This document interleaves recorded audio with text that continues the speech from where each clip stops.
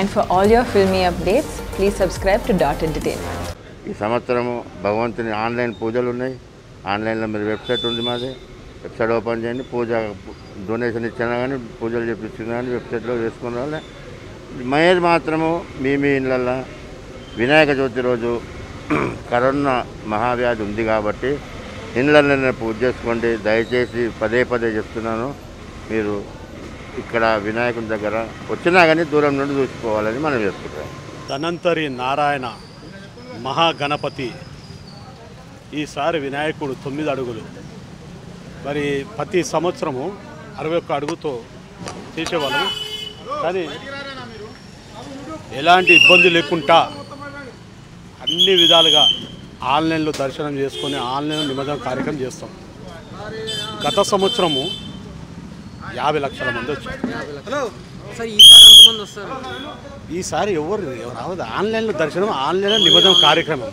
ఎందుకంటే కరోనా మహమ్మారి. మా బాల్యం నుంచి ఇక్కడ వస్తూనే వస్తూనే ఉన్నాము.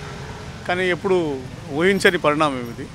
కరోనా రావడము ప్లస్ వినాయకుడు ఇంత చిన్నగా తయారవడం అనేది చరిత్రలో హైదరాబాద్ నగర చరిత్రలో మొదటిసారి అని నేను భావిస్తున్నాను. సో మరి ఇప్పుడు అది కరెక్ట్ మంచిదే అంటారా? లేదంటే ఇంకొంచెం పర్లేదు పెట్టొచ్చు. ఎలాగో పర్మిషన్ ఇచ్చిందా ఇప్పుడున్న పరిస్థితుల్లో ఇది ఇది మంచి పరిణామమే.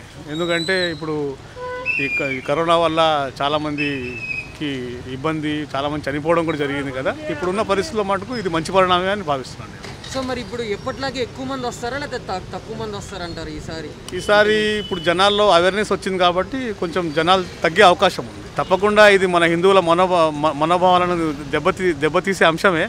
కానీ తప్పదు. ఇప్పుడు కరోనా ఎఫెక్ట్ వల్ల తప్పకుండా ఇలాంటి పరిస్థితి వచ్చింది కాబట్టి జ- జనాల్లో చాలా వరకు అవేర్నెస్ వచ్చింది. లడ్డు వేలంపాటు గురించి ఏమన్నా చెప్పారు? ఈసారి మరి ఉంటదంటారా ఉండదంటారా లడ్డు వేలం పాట సర్వసాధారణమే. కానీ ఇప్పుడు జనాలు తగ్గే అవకాశం మటుకు తప్పకుండా ఉంది. And for all your filmy updates, please subscribe to Dot Entertainment. For filmy updates, please do subscribe to Dot Entertainment. Hi, this is Nabha Natesh. Uh, please subscribe to Dot Entertainment.